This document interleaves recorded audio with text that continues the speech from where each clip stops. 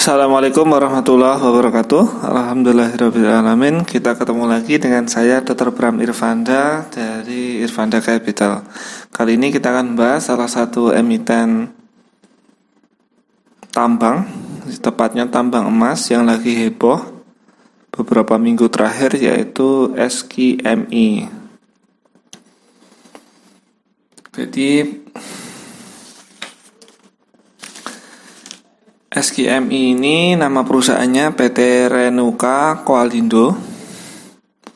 Kenapa kok namanya SKMI? Jadi sejarahnya SKMI ini berdiri tahun 2000 dengan nama PT Sanex Kianjing Motor Indonesia.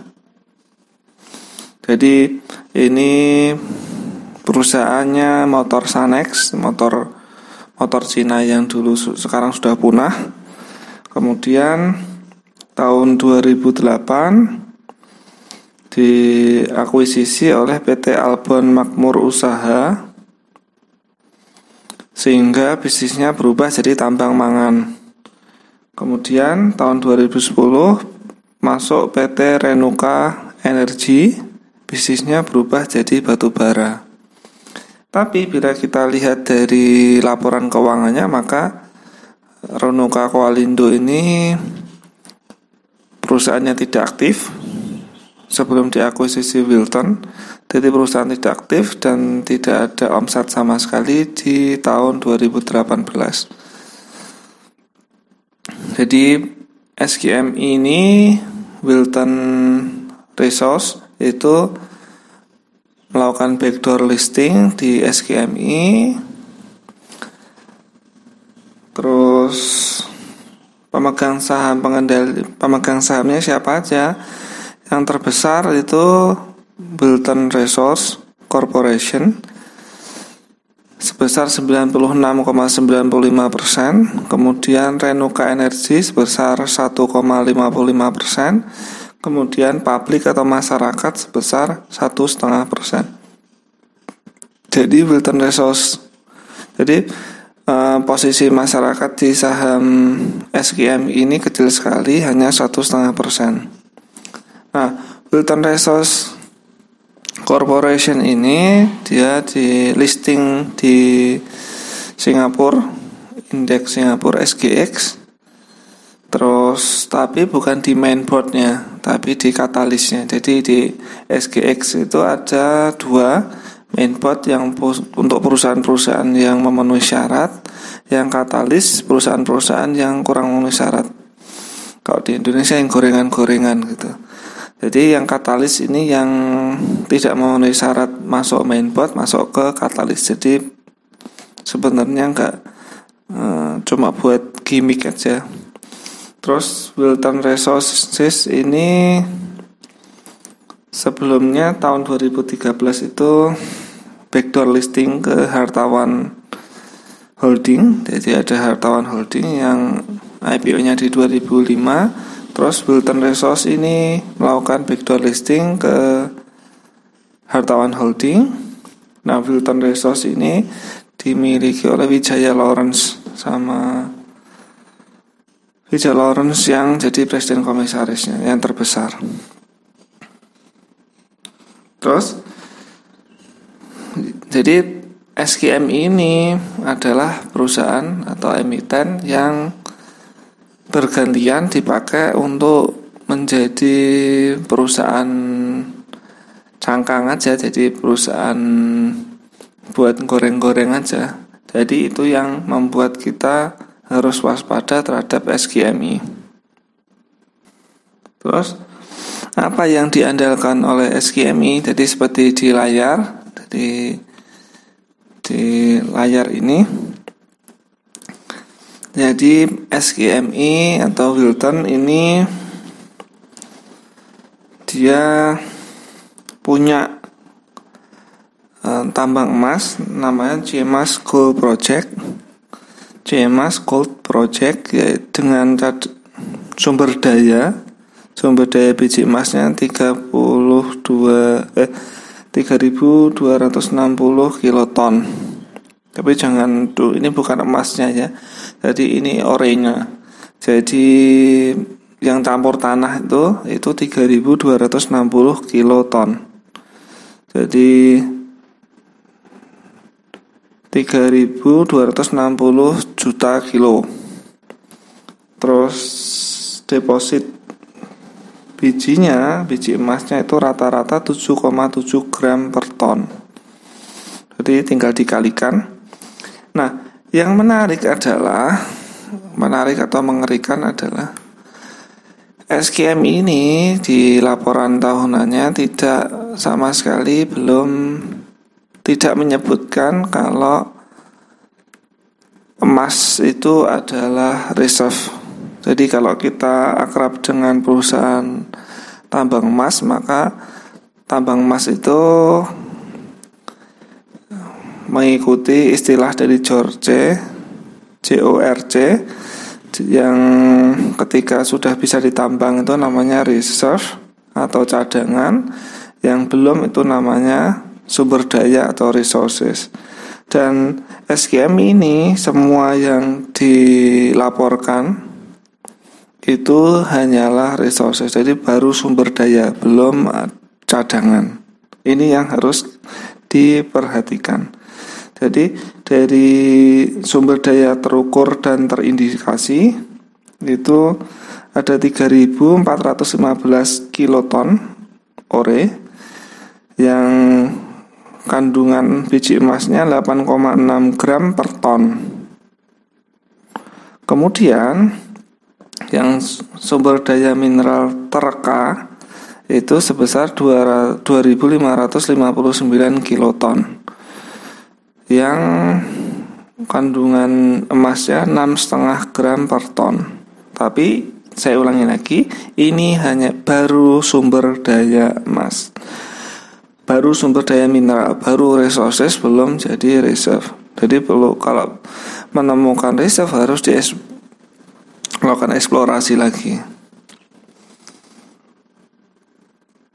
Kemudian jadi tambang emas Cemas Gold Project ini dimiliki oleh dua anak perusahaannya Wilton yaitu Wilton Wahana Indonesia seperti di layar.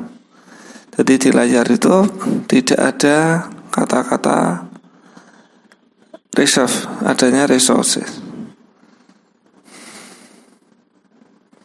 Terus selama ini jadi di tahun 2019 Wilton ini sudah mengolah 4000 ton ore, dapatnya 6 kilo 6334 gram emas. Jadi 4000 ton dapatnya 6334 gram emas.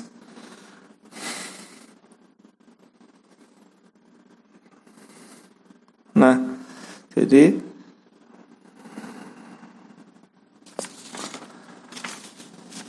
Nah, yang kemarin heboh adalah yang kemarin di minggu lalu heboh adalah SKM ini akan memulai produksi. Jadi ini harus kita hati-hati di sini. Kenapa? Jadi eh, ada di laporan tahunannya ada gold deposit eh, SKMI menulis gold deposit ada 46.058 kg di tambangnya. Jadi itu gold deposit yang belum pasti ya.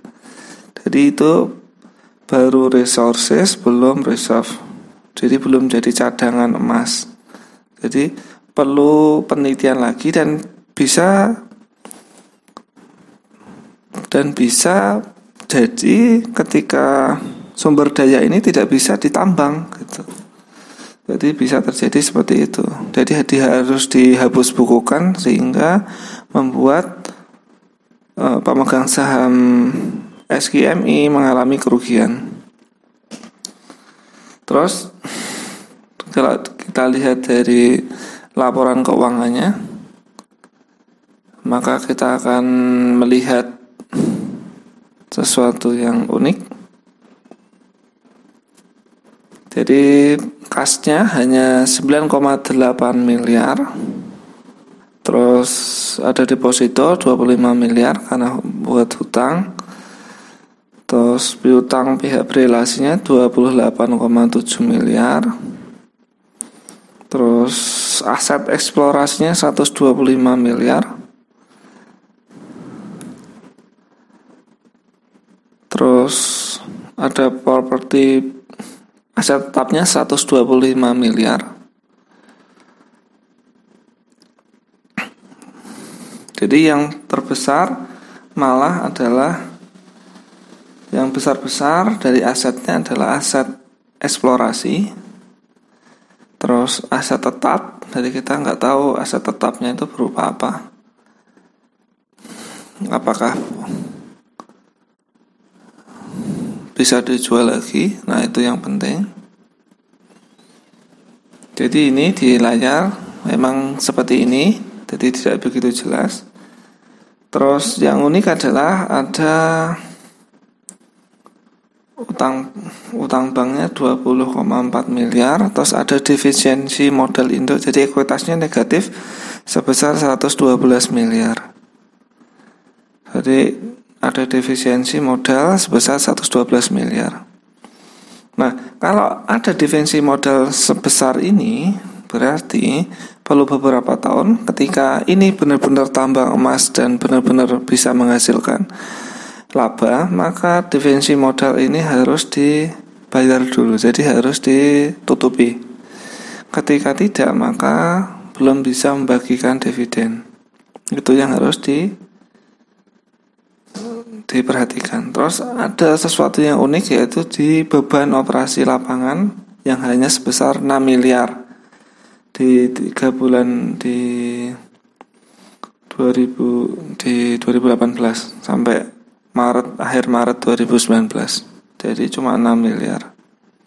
Terus yang tuh sekarang kita lihat di manajemennya. Yang unik adalah manajemennya SKMI atau Renoka Kualindo ini yang baru yang setelah diakuisisi oleh Wilton itu masih sama seperti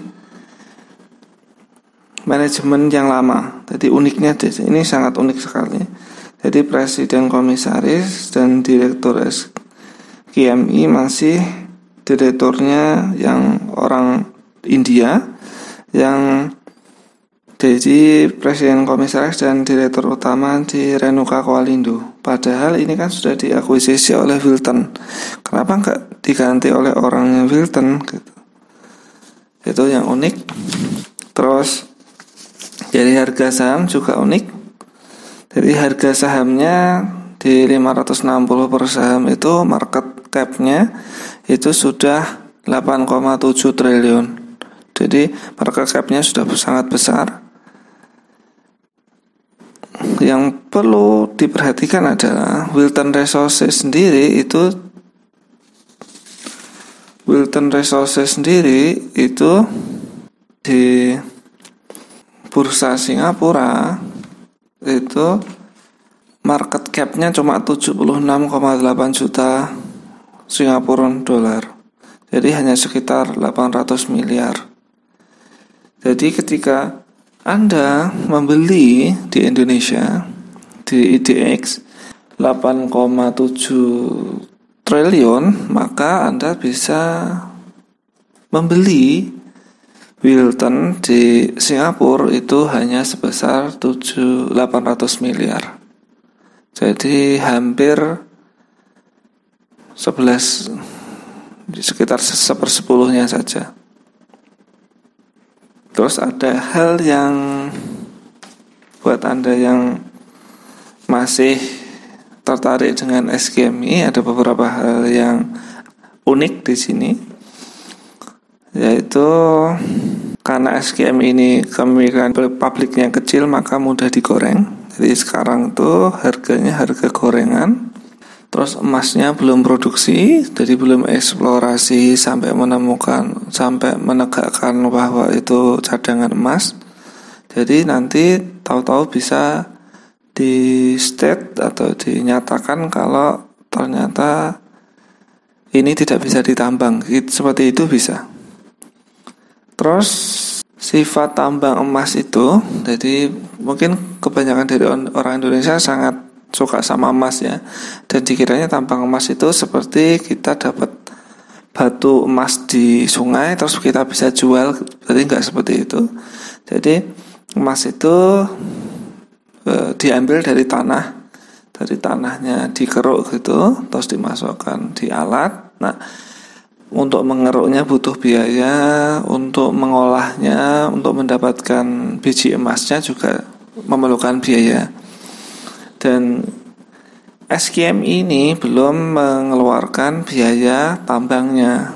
Jadi mungkin sekali suatu perusahaan atau suatu tambang emas itu sumber dayanya di situ atau cadangannya di situ banyak, sumber dayanya banyak, sumber daya emasnya banyak, tapi biaya untuk biaya untuk menambangnya itu tidak masuk. Jadi biaya menambangnya biayanya mahal sekali. Jadi tidak bisa dilakukan penambangan karena akan membuat kerugian. Jadi seperti itu bisa. Dan SKMI sekali lagi belum mengeluarkan biaya penambangannya. Jadi kita tidak bisa me, me, memprediksi berapa keuntungannya. Karena di tambang emas itu biaya menambang itu sangat penting. Biaya menambang ini biasanya namanya all in sustainable cost sustaining cost atau all in cost. All in sustainable cash cost. Jadi buahnya jadi ada beberapa dan di SKM ini belum ada. Jadi seperti itu jadi yang harus diperhatikan adalah jadi kalau bila Anda membeli di SGMI di harga sekarang atau harga lebih tinggi berarti Anda lebih melakukan spekulasi daripada Anda melakukan investasi. Jadi seperti itu. Jadi jangan hanya melihat dari harganya naik terus tapi lihat apakah harga itu mencerminkan bisnis yang bagus, soalnya cepat atau lambat harga saham akan mengikuti bisnisnya. Jadi seperti itu. Bila jadi dari sekarang kita kesimpulan dari bisnisnya kita kasih nilai D. Terus dari keuangannya kita kasih nilai D.